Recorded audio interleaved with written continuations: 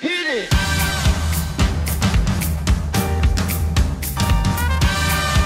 Brisbane Comedy Festival has blown me away.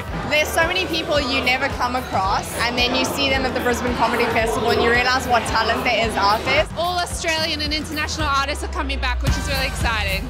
It's a brilliant night out, good performers, really funny, it's great comedy. It's good to get out and have a laugh. It's been too long. And we like to laugh. Phenomenal. Fun. Excellent. Hilarious. It was amazing. It was so great. The best I've ever seen. A non stop laugh fest.